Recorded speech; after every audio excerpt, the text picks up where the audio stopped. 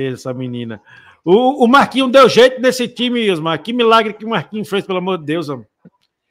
Já sei, o Marquinhos, ele deu jeito, se o torcedor, um torcedor mais atento deve ter percebido que o América começou muito mal porque estava jogando um sistema com 4-4-3 com três atacantes. Depois daquele jogo contra o Fortaleza, em que o América não poderia jogar com três atacantes, né?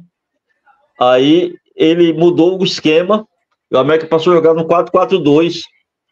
E outro jogador que ajudou muito a, a, ao América encontrar uma maneira de jogar foi o Enderson, né? Depois que o Enderson chegou, o meio de campo do América encaixou, né? Então, assim, foram do, na minha opinião, foram dois fatores. O Marquinhos Santos percebeu que não dá para jogar no 4-4-3 com esse elenco que ele tem, não dá, né? E o Enderson que arrumou o meio de campo, né?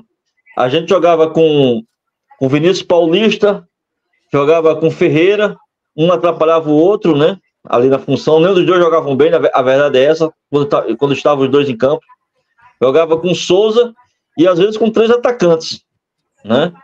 E isso prejudicava. Jogava com Juliano de um lado, às vezes Rafinha do outro e um centroavante.